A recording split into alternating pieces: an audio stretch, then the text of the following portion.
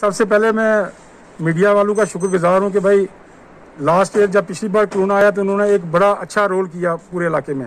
तो आज भी जो इनका रोल हम देख रहे हैं कि जो जो एडवाइजरी एडमिनिस्ट्रेशन की तरफ़ से आ रही है, उसका ये पूरा लोगों तक ये उस बात को पहुँचाते हैं।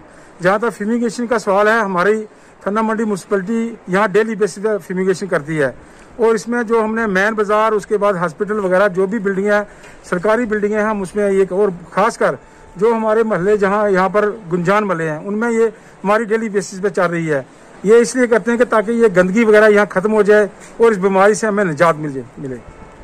प्रेसिडेंट साहब जैसा कि एलजी ने देखिए इसमें कोई शक नहीं कि हेल्थ डिपार्टमेंट जो है इस वक्त वो दिन रात अपने काम में लगे हुए हैं। लेकिन जहाँ तक म्यूनसिपलिटीज़ का सवाल है हमारे जम्मू कश्मीर में जो भी म्यूनसिपलिटीज़ हैं वो भी इसको हेल्थ डिपार्टमेंट के बराबर काम कर रही हैं और दिन रात ये लगे हुए हैं। हमारी जो यहाँ पर म्यूनसिपलिटी थाना मंडी में बात करूँगा ये 24 घंटे हमारे पास अवेलेबल लोग होते हैं। जब हमें कोई इमरजेंसी पड़ती है जब भी हमारे इलाके में कोई भी कहीं पॉजिटिव केस आते हैं तो हम इनको फौरी बुला के वहाँ पर जा, जाके स्प्रे वगैरह करा देते हैं। अच्छा देखिए इसमें है कि लास्ट ईयर जब कोई भी केस पॉजिटिव आता था उसके लिए सरकार ने कोरोना सेंटर रखे थे। इस बार उन्होंने वो कोरोना सेंटर नहीं रखे हैं।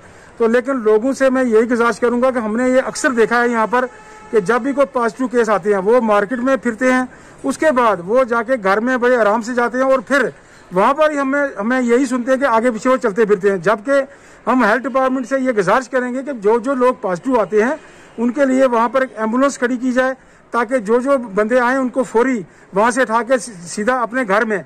और उसके बाद उनको सुबह शाम हेल्थ डिपार्टमेंट की तरफ़ से उनको, उनकी पूछ पाछ होनी चाहिए कि भाई ये आप क्या कर रहे हैं? आपको किसी दवाई की ज़रूरत तो नहीं है?